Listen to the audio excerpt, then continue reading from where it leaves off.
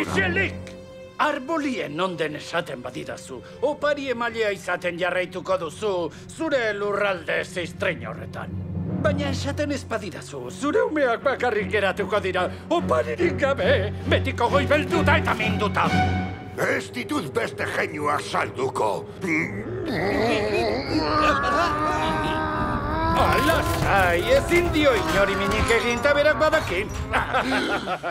Ara, lagunekiko leiala izan nahi duzu ezta? Eh, Bulertzen dut adiskidea. Ez nahi zure adiskidea. Zuk ez daukazu Ba, lagunik. zure ustezko lagunak ez dira bat ere kezkatu zure desagerpenagatik. Bai. Olentzeraren umeak Guretzat dira. Ez diak nireak dira. Urteak egin ditut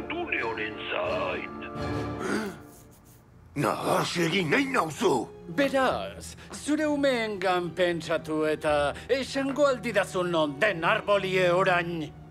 Zuk ez duzu merezi opari emailea izatea. Zoa zantzarra ferratzera.